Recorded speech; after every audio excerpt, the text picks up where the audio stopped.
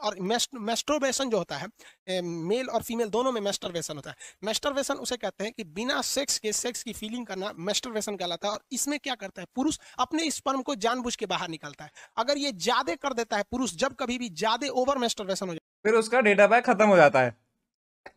जाता है। तो ये प्रोस्टेट ग्लैंड कमज़ोर हो जाती है। फिर उसको एक लंबा चौड़ा खामियाजा भुगतना पड़ता है आगे जाके। और ये एक प्रोस्टेट कैंसर का रूप ले लेता है। मर्दों में सबसे कॉमन है प्रोस्टेट कैंसर और महिलाओं में सबसे कॉमन है ब्रेस्ट कैंसर।